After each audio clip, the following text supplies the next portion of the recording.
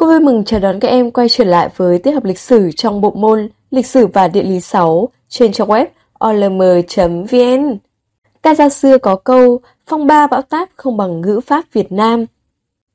Ngày hôm nay chúng ta sẽ cùng nhau tìm xem ai sẽ là vua tiếng Việt nhé. Các em trả lời tốt lắm. Thục phán, cổ loa, mị châu và âu lạc chính là các đáp án. Và đây cũng là những từ khóa quan trọng trong bài học ngày hôm nay. Mời các em sẽ cùng nhau tìm hiểu bài 13, nước Âu Lạc. Qua bài học này chúng ta sẽ lần lượt tìm hiểu hai nội dung lớn. Đầu tiên là sự ra đời và tổ chức nhà nước Âu Lạc. Qua đó, các em sẽ nêu được khoảng thời gian thành lập và xác định được phạm vi lãnh thổ của nhà nước Âu Lạc, đồng thời trình bày được tổ chức nhà nước Âu Lạc.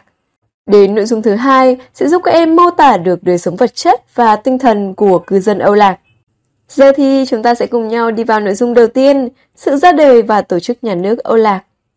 Để tìm hiểu cụ thể nội dung này, cô mời các em chúng mình sẽ cùng khai thác đoạn thông tin trên. Đoạn thông tin này được trích trong sách giáo khoa lịch sử và địa lý 6, bộ sách Cánh Diều.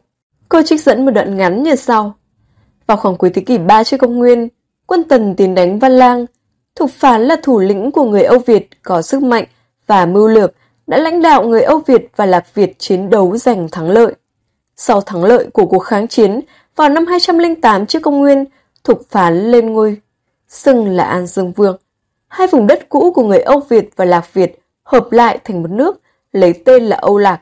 Kinh đô được rời xuống Phong Khê, nay là Cổ Loa, Đông Anh, Hà Nội.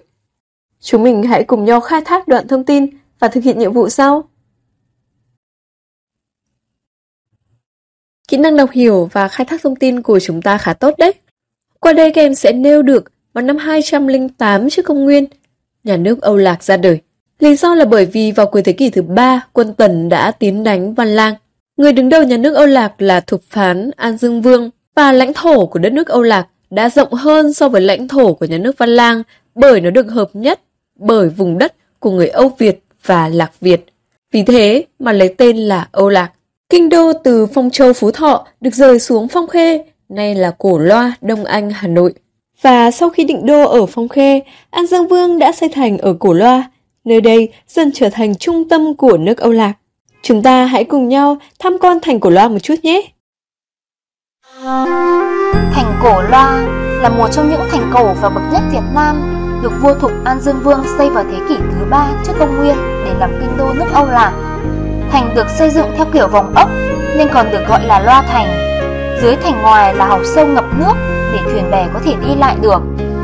Thành cổ loa gồm 3 vòng thành khép kín, trong cùng là thành nội hình chữ nhật có chu vi 1.650m, cao khoảng 5m, mặt thành rộng từ 6m đến 12m, chân thành rộng từ 20m đến 30m và mùng một cửa ở phía nam.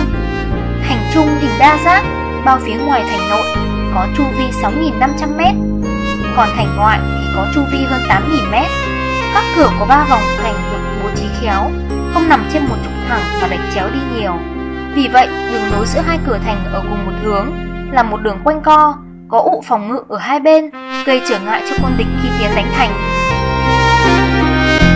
Cạnh đỉnh là Am Bà Chúa, tức là miếu thờ công chúa Mỹ Châu, nằm nép dưới gốc đa cổ thụ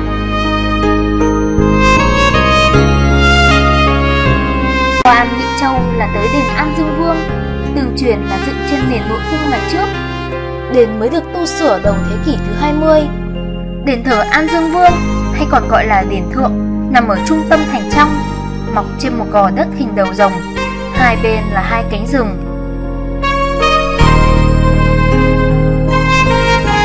Trước đền không xa là một ao tròn, chính giữa là một cồn đất tròn có giếng nhỏ ở giữa xây cạnh. Tương truyền nó là giếng ngọc, nơi trọng thủy tự tử vì hối hận. Nước giếng này mà đem rửa ngọc trai thì ngọc sẽ càng sáng trong bội phần. Phía tây đền An Dương Vương, trên một gò đất cao, xưa kia vua lập miếu thờ thần nông là nhà bia. Trong đền còn giữ được một số di vật minh tượng An Dương Vương bằng đồng, đúc vào năm 1897.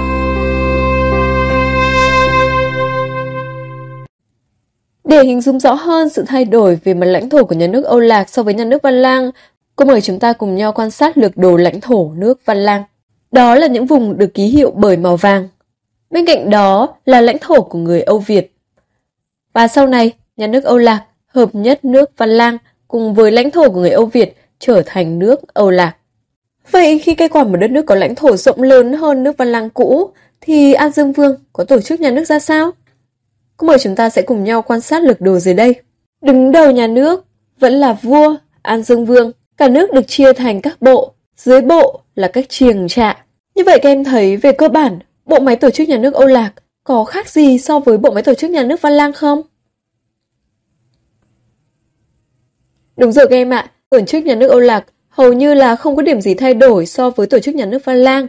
Tuy nhiên, ở đây vai trò của An Dương Vương được đề cao hơn. An Dương Vương sẽ nắm giữ mọi quyền hành. Ngoài ra, nếu như nhà nước Văn Lang chưa có quân đội, thì ở thời kỳ này, lực lượng quân đội khá đông và vũ khí đã có nhiều cải tiến hơn trước. Trong đó có một vũ khí đặc biệt của người Âu Lạc. Các em có biết đó là gì không? Chính là nỏ liên châu đấy. Tương truyền, nỏ liên châu được Cao Lỗ, một vị tướng của An Dương Vương chế tạo ra. Điều này gắn liền với truyền thuyết Mị Châu trọng thủy. Mời các em cùng đón xem.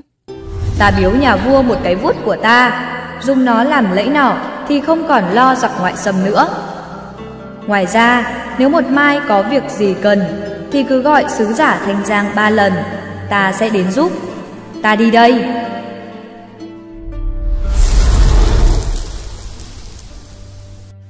Hồi bấy giờ, ở phía bắc Âu Lạc có nước Nam Việt, vua là Triệu Đà.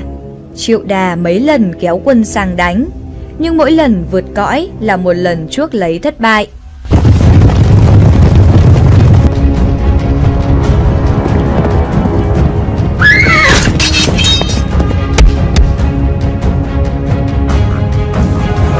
Bên này An Dương Vương sai đem nỏ thần được chế tạo từ vuốt thần ra bắn.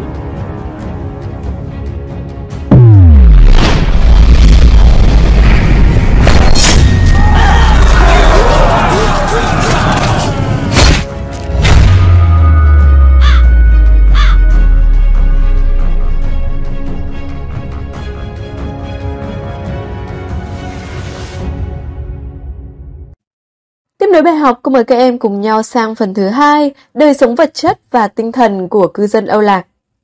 Trong lĩnh vực kinh tế, trên cơ sở những thành tựu đã đạt được dưới thời Văn Lang, nông nghiệp và thủ công nghiệp dưới thời Âu Lạc vẫn tiếp tục phát triển. Cư dân thời kỳ này không chỉ trồng được lúa nước mà còn trồng được rất nhiều loại củ quả như ngô, khoai, sắn. Nghề gốm và xây dựng ngày càng phát triển.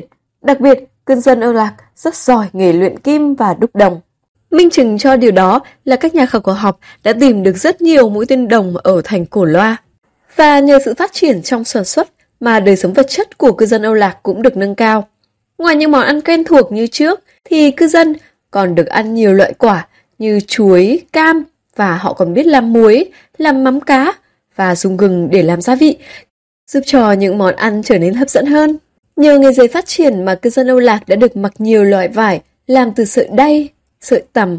Các đồ dùng sinh hoạt trong gia đình cũng phong phú hơn. Đồng thời, các tín ngưỡng, phong tục tập quán cũ vẫn tiếp tục được duy trì và phát triển. Hàng năm vẫn có nhiều lễ hội được tổ chức như hội ngày mùa, hội đấu vật, hội đua thuyền.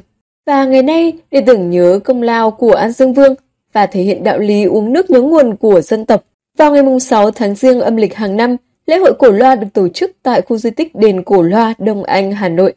Nếu có dịp, các em hãy cùng về đây một lần nhé. Đó là những nội dung cơ bản của bài học ngày hôm nay. Và trước khi kết thúc bài học, cô mời các em chúng mình hãy cùng nhau thực hiện nhiệm vụ sau. Hôm nay chúng mình học rất tốt. Cô cảm ơn các em đã chú ý lắng nghe. Xin chào và hẹn gặp lại các em trong những bài học tiếp theo.